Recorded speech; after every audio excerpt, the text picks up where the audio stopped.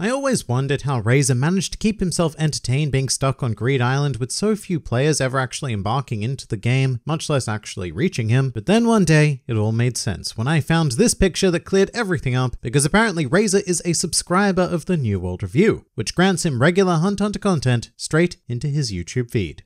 Hello and welcome to the New World Review, your source for everything anime and manga, and it's Hunter Hunter time again as we continue our in-depth exploration into the world of Nen, this time focusing on the discipline of emission. Now as always, if you are new to the concept of Nen or just need a basic refresher, then this video is available which is something of a 101 course on the overall art form, as well as using it as assumed knowledge in regards to this video. But onwards to the wonderful world of emission, and this discipline consists of the fairly basic mechanic of being able to separate one's aura from their body. And that might sound a bit odd at first because that technical definition would, at face value, appear to be part of other affinities as well, such as conjuration and transmutation, which are both capable of technically separating aura from the bodies of the user. However, a key difference is that conjuration and transmutation go on to transform aura into an object or substance. Meanwhile, emission is all about raw aura output, which can be surprisingly difficult because one's aura naturally wants to remain within its vessel, and the process of separating it actually goes on to decrease its potency, which only gets worse worse and worse depending on how far the aura is from the body. And for an example of this, we can look at Mr. Gon because he actually uses a form of pure emission as part of his Jajanken series, specifically with the attack known as Paper. And this basically sees Gon gather his aura in a similar manner to that of his trademark rock technique, which is a form of enhancement, except that with Paper, Gon launches his aura directly at an enemy as a form of projectile, a sort of glorified Hunter Hunter Kamehameha. And it's quite a powerful, albeit straightforward technique because Gon is an absurdly talented child thing, however However, due to the fact that it is a use of pure emission, despite putting the same quantity of aura into the attack as he does with rock, the result of paper contains only a quarter of the raw power. And a lot of that is attributable to Gon not being a natural emitter, but compounding that is also the general fact of reduction in aura potency post-separation, even if you are a natural emitter. So with that in mind, a sort of tip-top emitter is an individual who is capable of separating their aura with minimal loss of power, as well as over great distances. And no, it's not always about destructive power, as we will thoroughly explore explore, and there is a ton you can do with emission that goes far beyond a simple energy blast. In fact, in my opinion, the best uses of emission that we've seen in the series go far beyond that basic idea. Before we hop into things though, according to Hisoka's personality framework, an emitter tends to be impatient, not particularly detailed oriented, and quick to act in a volatile way. They're also quite impulsive, although they allegedly tend to calm down much easier from their volatile actions as opposed to say enhancers. And this is another mixed bag from the University of Hisoka. I think certain aspects can apply apply to certain emitters, but there's really only a couple that I can think of that fit this bill perfectly. To start the examination off proper though, we kind of do have to delve into Razor, who was probably the most memorable emitter in the series, whose aura ball actually mimics the idea of Gon's paper projectile. However, in the case of Razor, what we see happens to be this idea perfected. Razor can generate exceptional quantities of aura condensed into a much smaller package that deals damage several orders of magnitude higher than Gon could ever dream. And not only that, but Razor can emit his aura near instantly and have it travel travel much further from his body thanks to his sporting prowess, and he also has superior control of targeting. And this attack is the quintessential pinnacle of pure emission, but Razor himself makes far more complex use of this affinity as he is a game master of Greed Island and directly responsible for all of the emissive needs of the card game. Now very notably this likely does not include generating the cards themselves, which is more in line with conjuration, and I'm sure that someone else handles that. However, he would be responsible for the emissive mechanics found primarily in spell cards, like Accompany for example, which releases aura that is then used to teleport players to a location of their choosing. And so with that in mind, Razor displays both the most simple and yet the most complex uses of emission in one pretty stacked gym teacher wrapped package. And I really don't think that anybody else in the series has even come close to demonstrating a higher degree of mastery over emission than Razor. However, we have certainly seen more diverse usage. And with that, I would like to now immediately turn to Melody, another natural emitter with a very, very cool ability, known as Enchanting Music, in which she can relieve fatigue and in some cases even cure the illnesses of those listening to her music. And this is achieved by Melody emitting her aura whilst playing her flute, which then reaches and activates anybody caught within a certain radius. And it can also cause listeners to hallucinate as well, depending on how much of her heart Melody puts into the performance. So the technicalities of the Hatsu are unclear, but I would hypothesize that the music played, possibly specifically through her flute, is obviously a condition placed on emitting her aura in this matter, as is Melody's own passion whilst playing, which is important because without that second condition, this would be quite supremely powerful powerful, especially because it also seems to take effect if her music is broadcast. But in the end, it's just a really fascinating take on pure emission, very much the opposite of destructive energy blasts, and also an intriguing use on adding conditions to raw emission. But for some more, let's say, very basic examples, we can now look at both Franklin Bordeaux of the Phantom Troop as well as Bloster of the Chimera Ant Troop, And both of these emitters have very similar abilities, which sees them emitting their aura into much smaller but still very potent ways that go on to mimic gunfire, and thus transform both of them into incredibly deadly weapons. Now in Franklin's case specifically, he chose to plonk an extra condition on his Hatsu, which is that he voluntarily cut off his fingertips and made it so that he could only fire after removing them, which as he quite correctly thought, would lead to an increase in power of the overall ability due to the limitation. So for what is effectively an incredibly basic use of emission, Franklin has very much maximized his own personal output and is a master of Nen in his own right, as are all members of the Phantom Troop really. Bloster on the other hand, he's, well, he's Bloster. However, I refuse to go any further without recognizing our lost protagonist Leorio, who after an awfully, awfully long time, we discovered is a natural emitter with quite a funky Hatsu being Remote Punch, whereby Leorio makes a physical punch to no impact, and then emits his aura to replicate the punch at a target of his choosing, which emerges from an emitted wormhole style thing.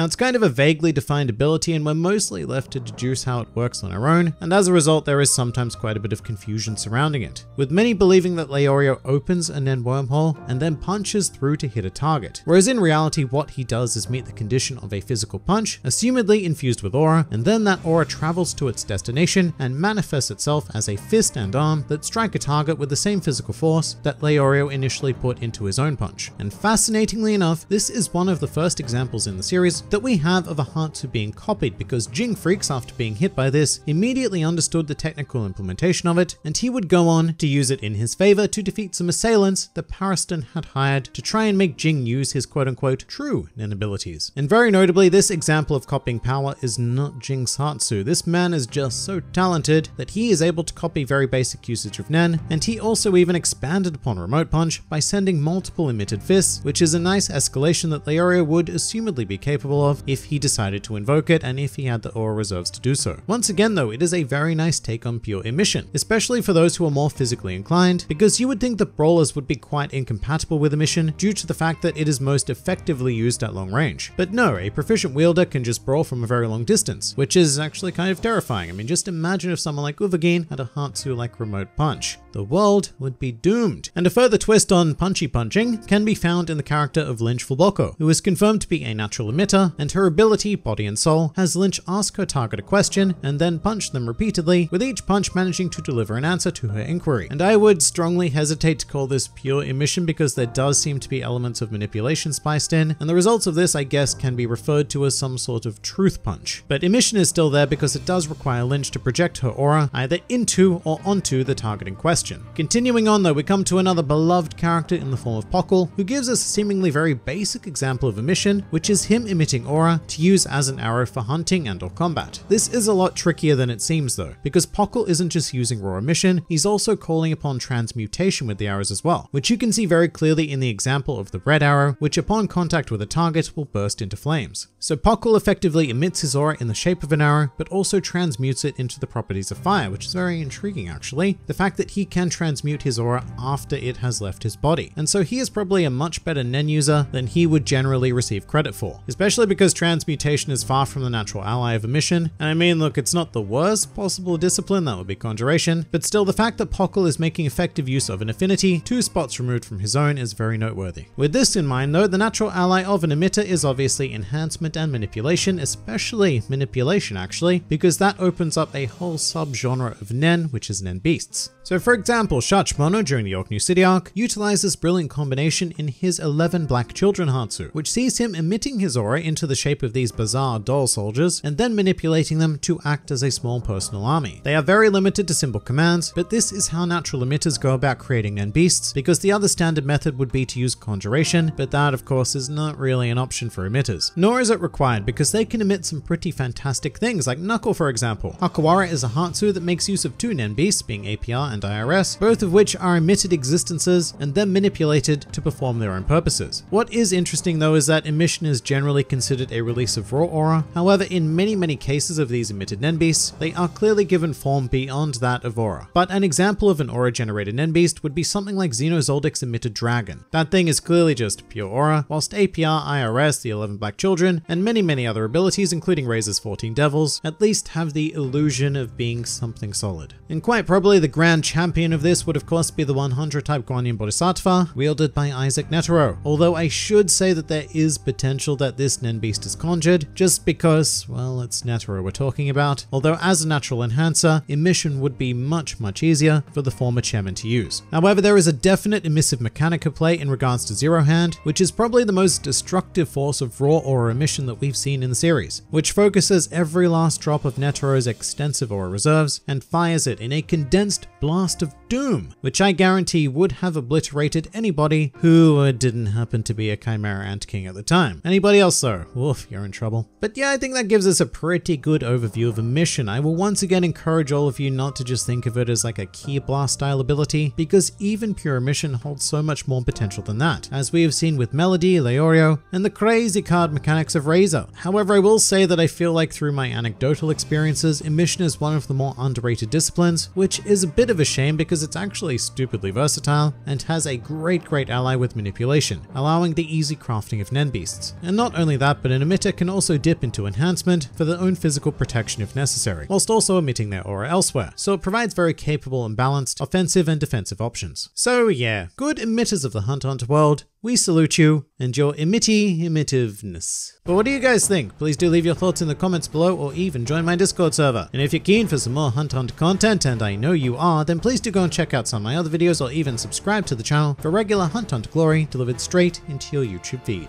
But for now, this has been the New World Review, and I'll see you next time.